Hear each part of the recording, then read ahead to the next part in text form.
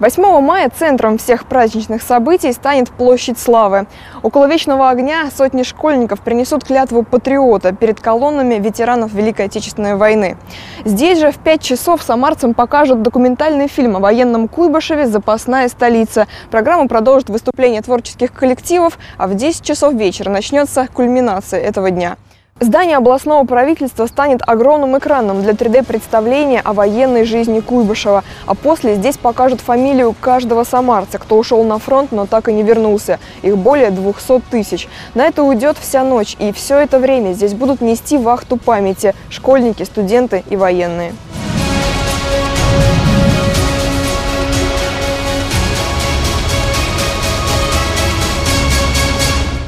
Масштаб или форма, которая будет представлена, я пока вот так аналогов таких не знаю.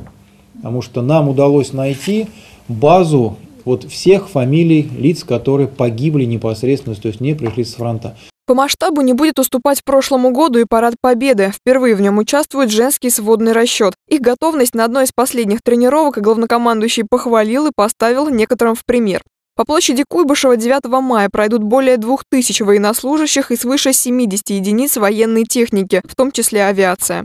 Удалось привлечь к прохождению э, получается, все регионы, где дислоцирована вторая армия. То есть мы здесь и с Оренбургской области будут, с республики Башкортостана приедет зенитная ракетная бригада. И, соответственно, естественно, никуда мы не уйдем от Самарского гарнизона.